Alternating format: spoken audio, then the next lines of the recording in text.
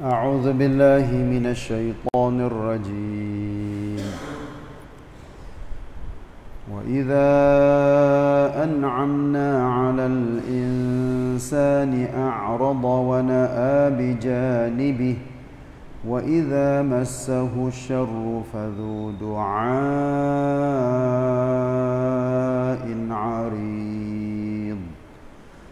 قل أرأيتم إن كان من عند الله ثم كفرتم به من أضل ممن هو في شقاق بعيد سنريهم آياتنا في الآفاق وفي أنفسهم حتى يتبين لهم حتى يتبين لهم أنه الحق. أولم يكف بربك أنه على كل شيء شهيد؟ ألا إنهم في مرية من لقاء ربهم؟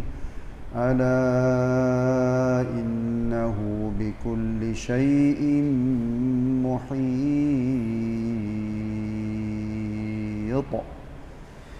Ayat 51 sampai 54 surah Fussilat sebagai akhir surah yang Allah Taala firman kepada kita mudah-mudahan kita mendapat hidayah daripada Al-Quranul Karim.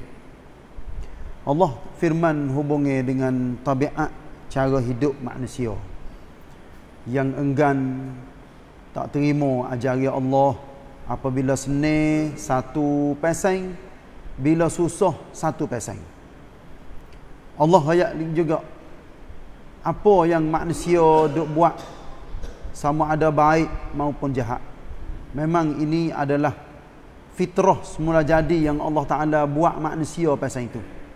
Ada hak baik ada hak jahat. Tapi hak baik sedikit baik di sini artinya manusia yang berimej dengan benar-benar berimej dan taat patuh takwa kepada Allah memang dia tak ramai tapi yang ramanya hidup atas muka dunia iaitu yang kafir, yang munafik, yang zalim, yang buat perkara-perkara yang keji, yang tak baik dan mereka akhir sekali akan akan dimasukkan ke dalam api neraka.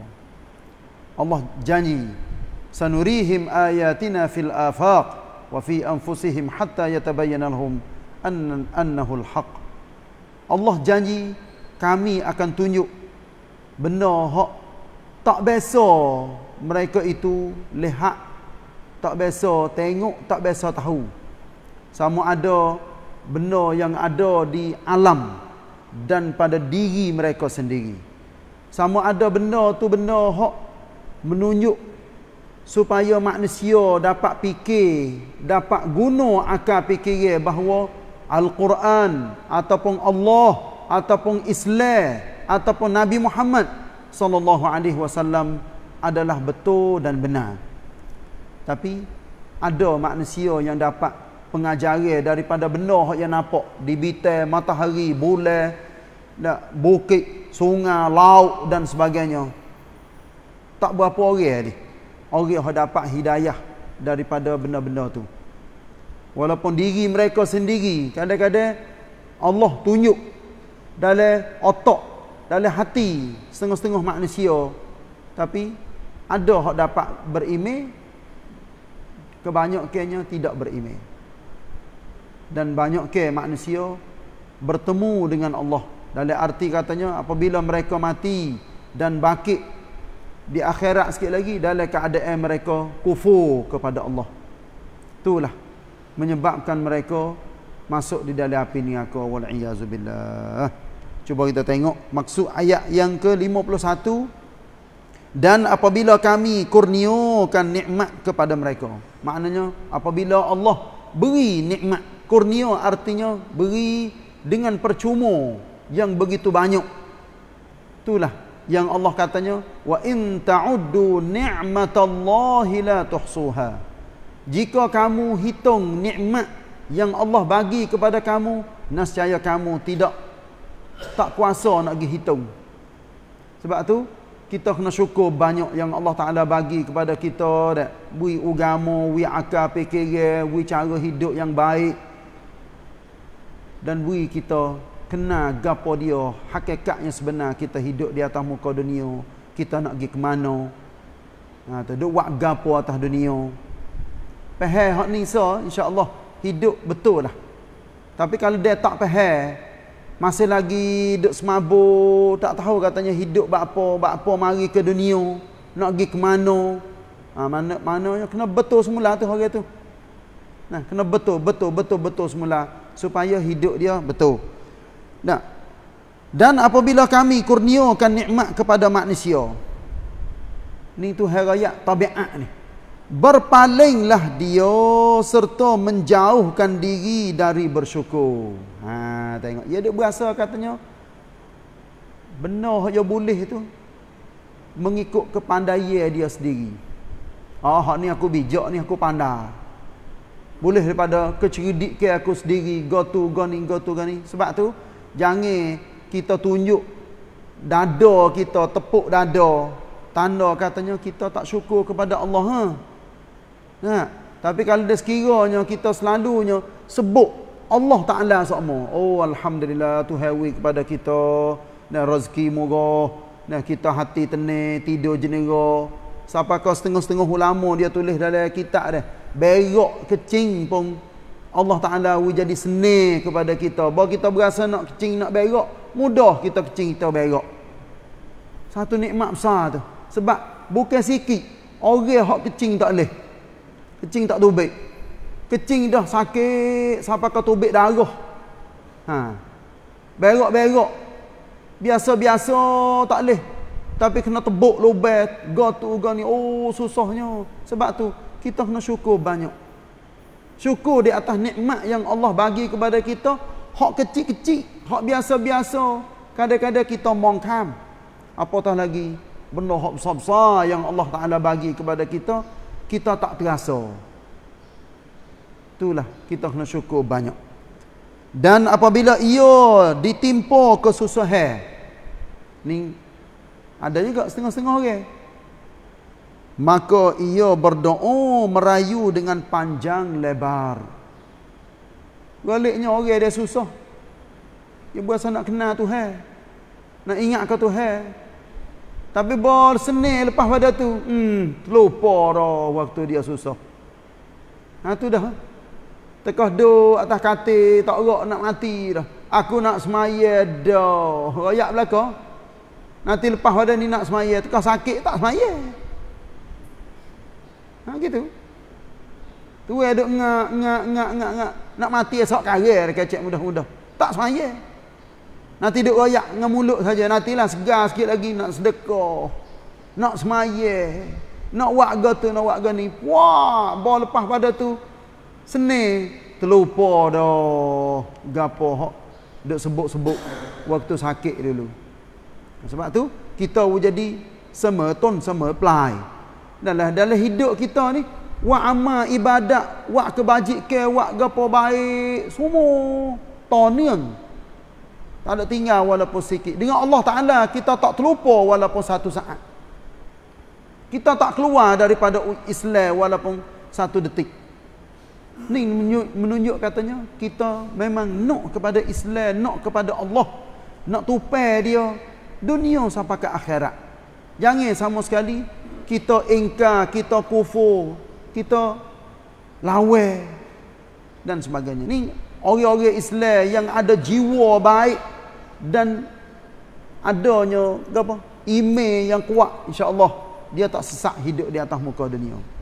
Tapi ayat ni Tuhan raya tabiat manusia dengan secara umum. Ayat yang ke-52 Qul ara'aytum in kana min indillah thumma kafartum bih.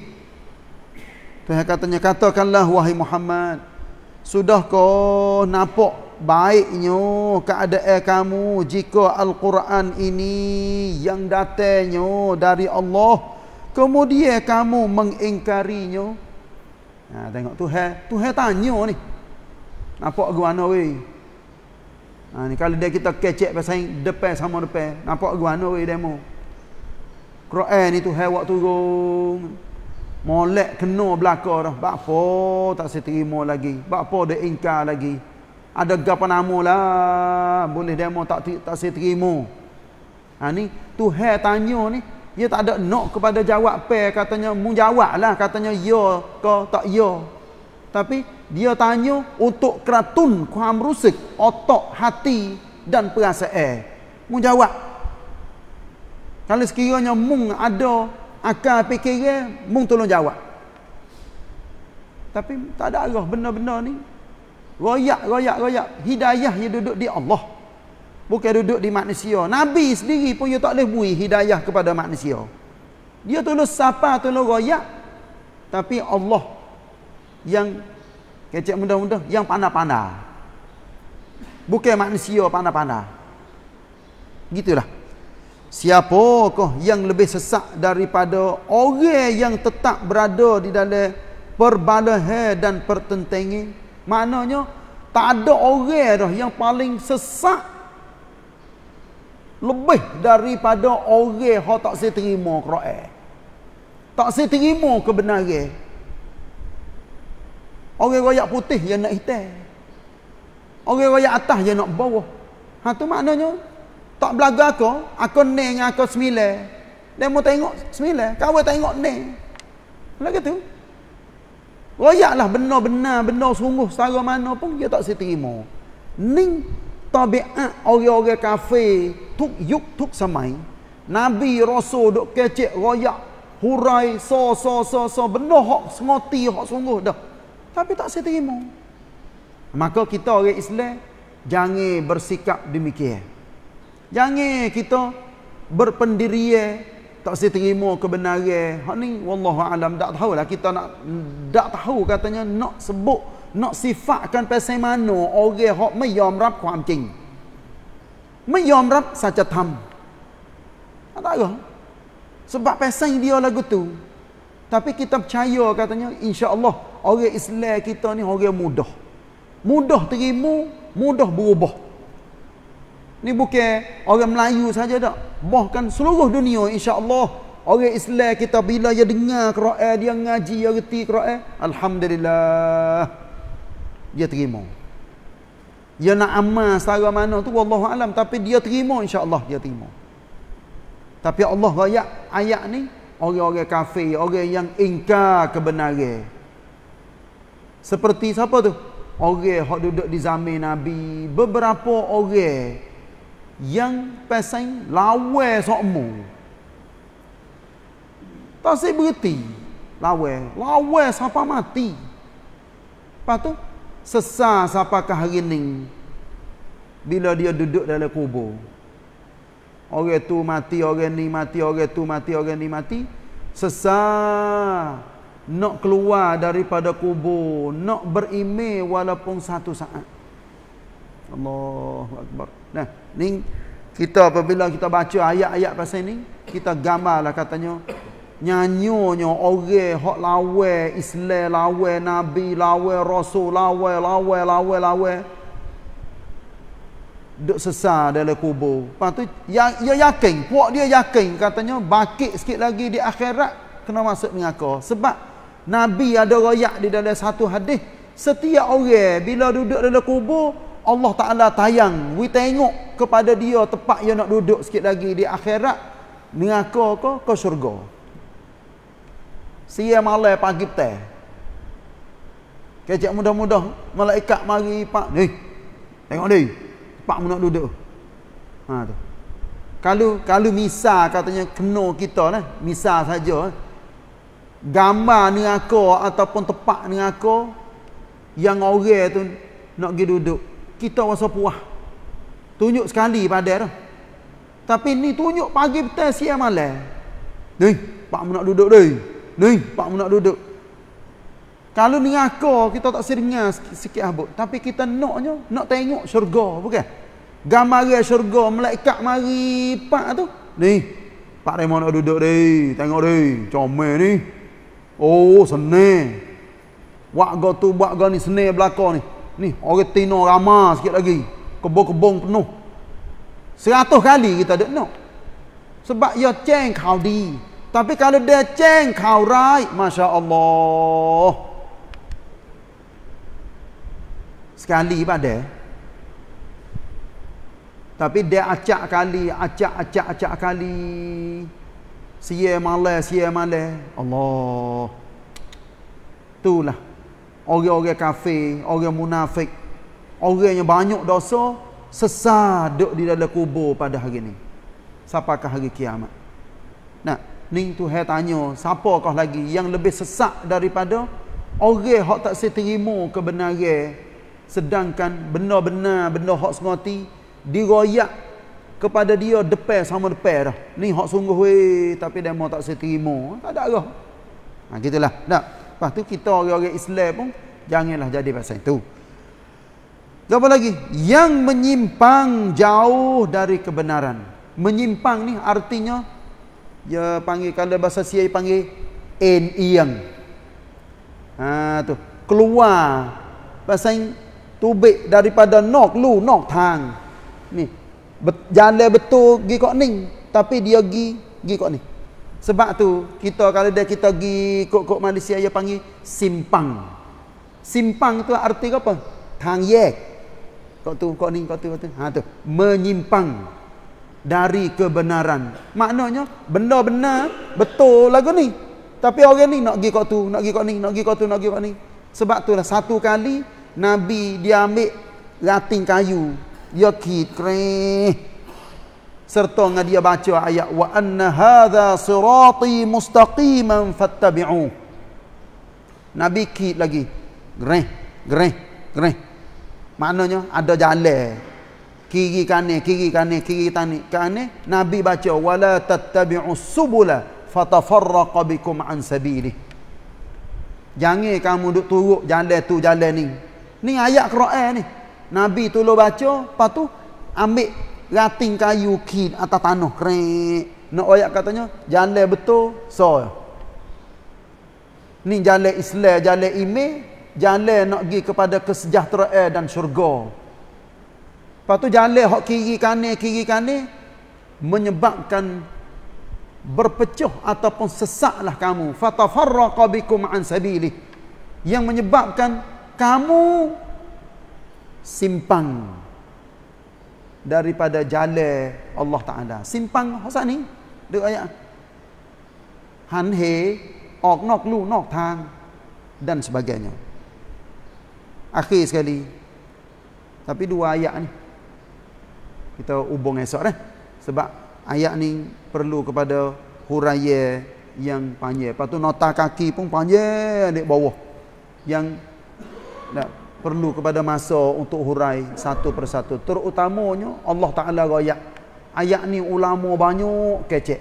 Sanurihim ayatina fil afaq wa fi anfusihim. Ni ulama nak hak semasa-semasa ia kecek hubungnya dengan witiasat dengan alam yang berlaku gotu goni gotu goni yang Allah Taala sengaja nak winapak kepada manusia akan kebenaran kebenar apa uh, benar hak sengoti tapi tak ada arah. Orang yang dapat hidayah dapat lagi. Orang yang tak dapat hidayah duduk dalam sesak siapa kau bila-bila walaupun benar hak Tuhan tunjuk kepada mereka nah, benar-benar baru untuk beriman. Sekadar inilah insya-Allah pak kita sambung dua ayat akhir pada pagi esok kalau tidak ada keuzur apa-apa. Wassallallahu ala nabiyyina Muhammad wa ala alihi wa sahbihi wasallam. Wassalamualaikum warahmatullahi wabarakatuh.